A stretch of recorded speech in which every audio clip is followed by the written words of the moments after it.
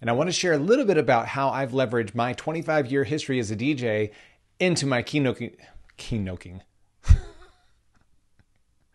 keynoting. It's keynoting and karaoke and not being able to talk.